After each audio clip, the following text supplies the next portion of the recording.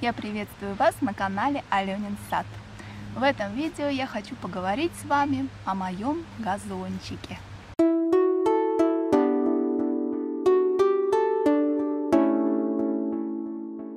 Снять подобное видео мне подсказала моя зрительница. Она стоит перед выбором травки для газона, у нее новый участок, и спросила меня, какая трава растет у меня на газоне, чем обусловлен был мой выбор. А мне показалась тема очень интересная, актуальная для моих зрителей. Я решила рассказать все, как было. Видите, какой газон у меня мягкий, пушистый, зеленый. И сейчас тепло на улице, и он тоже очень-очень теплый, теплый, такой приятный ароматный газон. Давайте поставим ему лайки. Чем больше лайков, тем лучше будет газон. Ну так как же у меня получился этот газончик? На самом деле я ничего не сеяла, никакие семена трав не покупала и вообще газоном не была озабочена. Изначально, когда у меня появился этот участок, я не думала здесь делать такую большую зеленую зону с газоном. У меня по плану было все четко распланировано, была только одна дорожка, а все остальное я хотела перекопать и засадить. Но засадить все сразу, перекопать, конечно же, одной мне никак не получалось. И поэтому целину, которая не была еще мною тронута, мне пришлось косить. Изначально здесь везде росли многолетники. Здесь было очень-очень много сныти, много лютика едкого, э, высокотравье было разнообразное. В общем, непроходимый лес густой. А это мой участок. Это моя елка, которая там есть. Деревья растут, я за них сижу. А потому что там нельзя. Ну, это, это, это, это. И там мой дом далеко. Вот, и вот этот газон, который вы сейчас видите, получился всего лишь навсего от того, что я кашу здесь траву триммером уже четвертый год. Четыре года косишь и получаешь вот такой газон, правильно говорят англичане. Чтобы получить прекрасный газон, нужно косить его сто лет. Мне мой нравится уже через 4 года. Сто лет, я думаю, это преувеличение. А вообще, я думаю, что те, кто говорит, что газон им не нравится, они немножко лукавят. Я думаю, что газон нравится всем, потому что зеленый цвет, он успокаивает, умиротворяет, настраивает на философский лад. И очень приятно полежать на таком газончике. Но, конечно, такой газон, как у меня, получить не очень просто в большинстве мест. Почему? А все очень просто, потому что его нужно поливать и удобрять. У меня он такой замечательно растет, потому что у меня очень сырой участок, торфяные почвы достаточно питательные, и поэтому белый клевер сам себе занимает все пространство. Он не дает расти никаким другим травам, хотя я его здесь не высевала. И этот клевер, он даже побеждает злак, который первым захватывает скошенное пространство, но клевер этот злак вытесняет.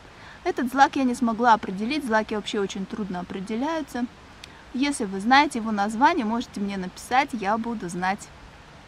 Вот на данном участочке хорошо видно, как клевер постепенно завоевывает себе пространство на газоне. Этот э, участок в этом году я только весной очистила здесь, все освободила от разных каких-то ящиков, коробок. Грабельками все это прошлась. И первыми начали захватывать подорожник, а, какие-то тут еще травки. И вот этот злак, название которого я не определила. Этот злак, первопроходцы. Но вслед за ними тут же ползет клевер. Ползет активно, причем там, где тень, там он больше всего и разрастается. Но постепенно, я уверена, он захватит все это пространство. И здесь так же, как и на другом участке, у меня будет газон из клевера. И вот такой газончик как раз это пример того, как мы воздействуем на окружающую среду, как мы вмешиваемся в природу, как мы создавшийся биоциноз превращаем в нечто другое, казалось бы, совершенно незначительными действиями. Просто косим траву, а растения, природные растения, они уже начинают играть по другим правилам. Основная часть моего газона это белый клевер. Я его не выбирала, не покупала, он сам вырос. И я могу рассказать о его плюсах и минусах.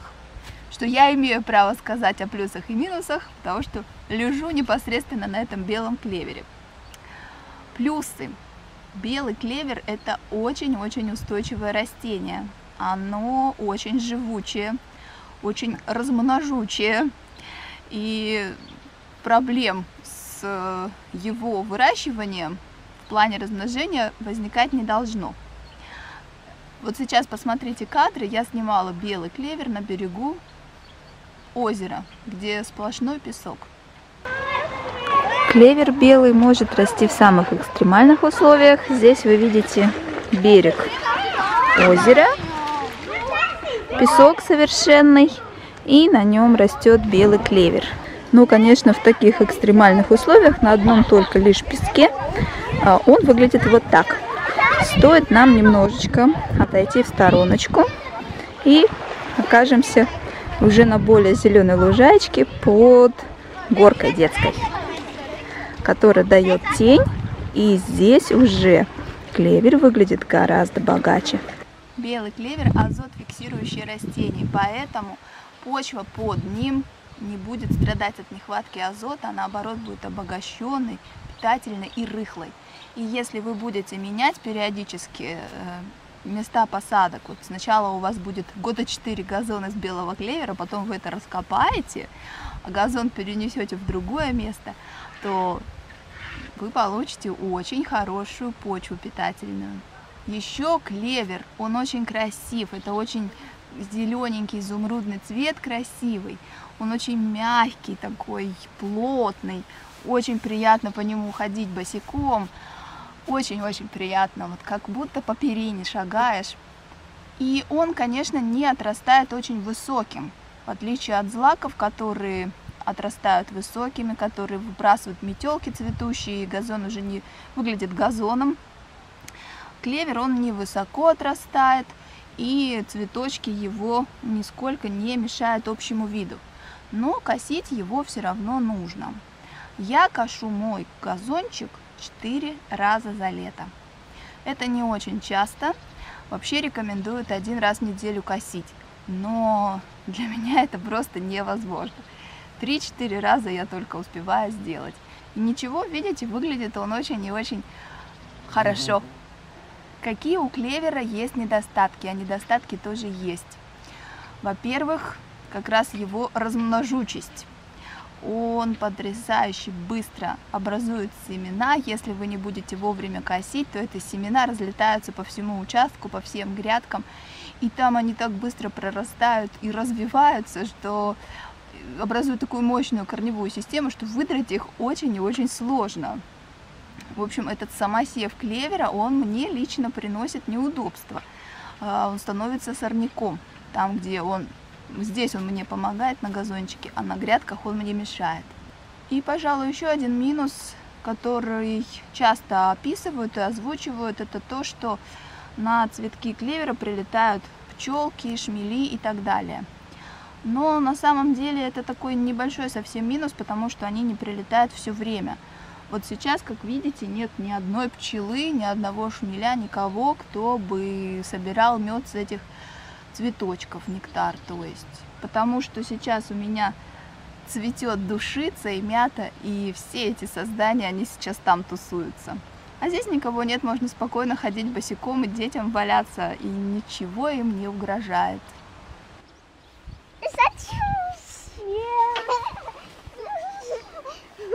Я надеюсь, что я ответила на вопрос моей зрительницы и многих других зрителей. Если у вас есть возможность, обязательно позвольте себе хотя бы маленький кусочек газона. для того, чтобы летом в хорошую погодку полежать, позагорать, чтобы дети могли поваляться по нему, да и просто походить босиком, снять напряжение, чтобы из вас ушло все лишнее электричество. Все разряды оставьте на газоне, а своим близким дарите только тепло и любовь. Подписывайтесь на канал Аленин Сад. Всего вам доброго и до новых встреч!